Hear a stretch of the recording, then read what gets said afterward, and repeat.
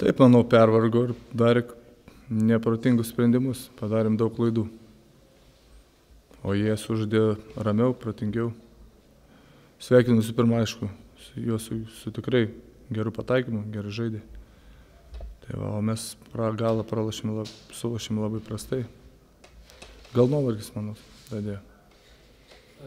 23 klaidos, turbūt aiškiai. Tai aišku, mes prieš varžybas išsikėlėm savo uždavinius, kad nedaugiau 12 klaidų. Manau, jeigu būtų 12 klaidų, tai būtų rezultatas kitoks.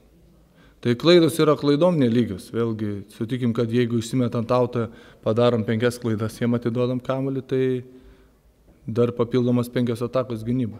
O kai tu su lelį turi šeši žaidžiančius žmonės, tai nėra paprasta. Žydrūnas Kalys patyrė traumą, kaip tai įtakoja